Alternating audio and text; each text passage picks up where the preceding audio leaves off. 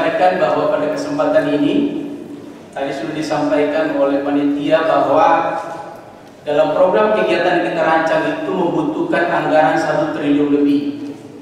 Tapi pada hari kemarin ketika kami bicara dengan berbeda, anggaran kita yang tersedia hanya 300 miliaran. Sementara yang diinginkan oleh 10 kecamatan, diinginkan oleh masyarakat luas, diinginkan oleh kami juga di DPRD dan tentu saja pemerintah membutuhkan anggaran sampai satu triliun lebih.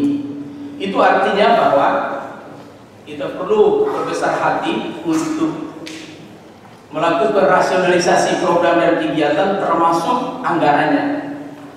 Sehingga nanti kita menyepakati eh, RKPD ini atau musrembang ini dengan angka yang tidak sebesar yang kita rencanakan dari awal, yang kita inginkan dari awal, mohon supaya kita memahami dengan baik bahwa ada kendala anggaran yang mesti kita pahami. Jangan sampai kemudian ada semacam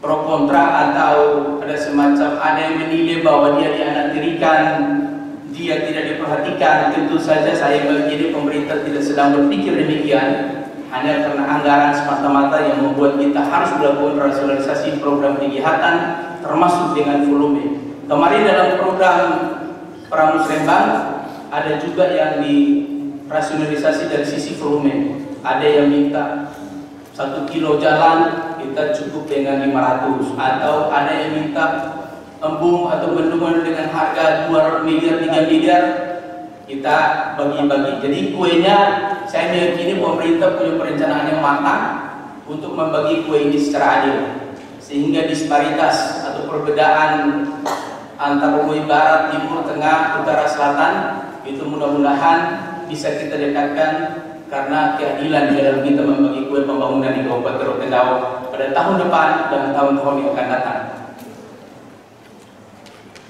Mari kita rencanakan dengan baik apa yang akan kita kerjakan. Lalu kemudian kita menyiapkan diri dengan baik untuk mengerjakan apa yang kita rencanakan.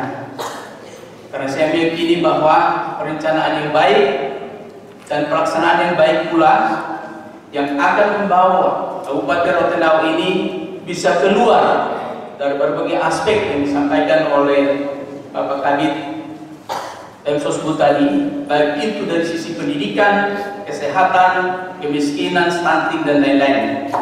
Dan satu modal utama kita adalah kita butuh untuk bergandengan tangan.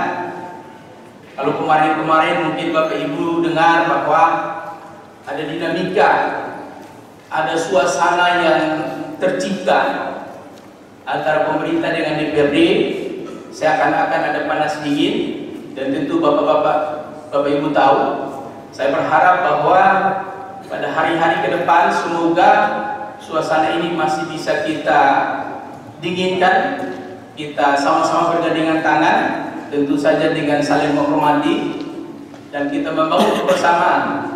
Karena modal utama bagi saya, boleh saja kita memiliki sumber daya manusia yang hebat, kita memiliki teknologi yang hebat, kita memiliki sumber daya alam yang hebat, tapi kalau kita tidak bersatu, untuk bergandengan tangan membangun kabupaten ini maka pasti ada tanda-tanda besar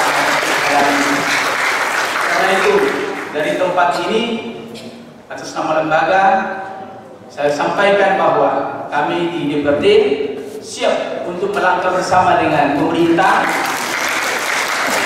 Siap untuk bergandengan tangan dengan masyarakat.